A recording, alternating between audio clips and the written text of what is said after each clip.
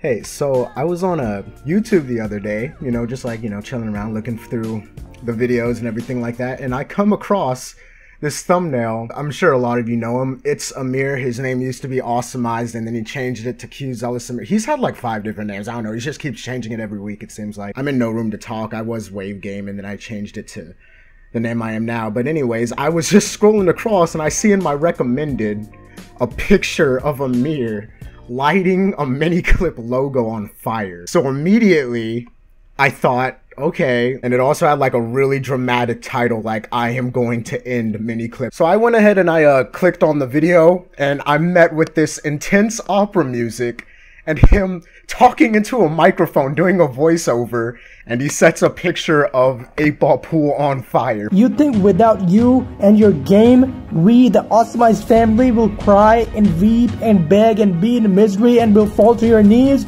Wrong! You think that your lame and dumb copyright strikes that you make on my videos will end our awesomeness, will end our happiness, our enjoyment, and our... While watching the video, while being partly confused through almost the whole thing, I found out that he was talking about Miniclip you know, copyright claiming people's videos and striking down videos on their channel. I didn't even know about any of this, partly because I just don't I don't mess around with monetization. I just don't know how to use it and I don't really want to know how to use it because I really just don't care. But then I go ahead and I look at my video manager and uh, well, would you look at that? now these are only copyright claims, so that means they're only just claiming money on the video, which I really don't care about. But as far as copyright strikes, that's a whole nother different ballpark. And and and Aamir's talking about how these like company, this company Miniclip's coming at him and like hatching him down with the hatchet, saying, "Boy, these are my videos. Get these off your channel," and like just striking down his whole channel. And I and he says he has two strikes already on his channel.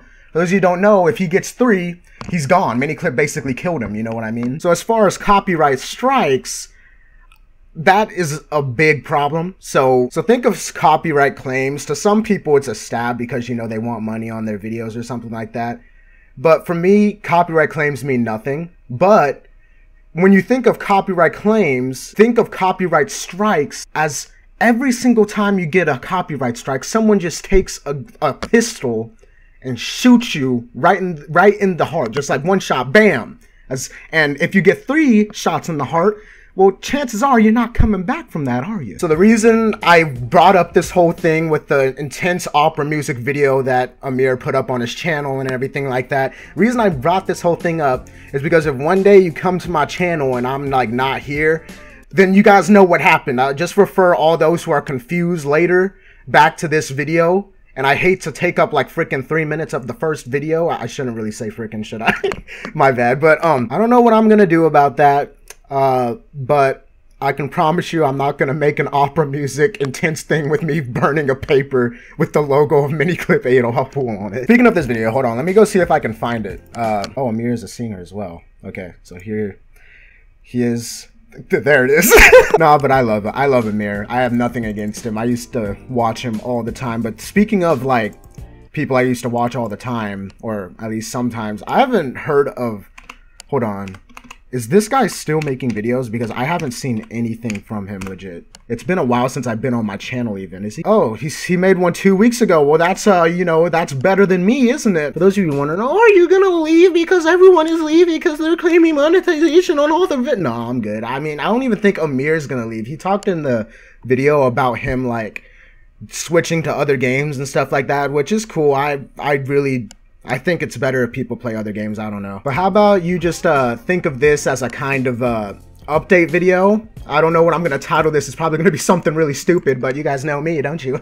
I hate to promise stuff because then I end up not keeping the promise and I look like a complete idiot and then you guys all roast me and stuff in the comments or you come to my house and you roast me. I don't even know how you guys know where I live. And you come to my, no, I'm just kidding. I'm not that famous, but expect, expect more videos. I really hate making promises, like I said, because I could like die tomorrow and then you guys be like, you said you would make videos. And I'm like, dude, I'm dead.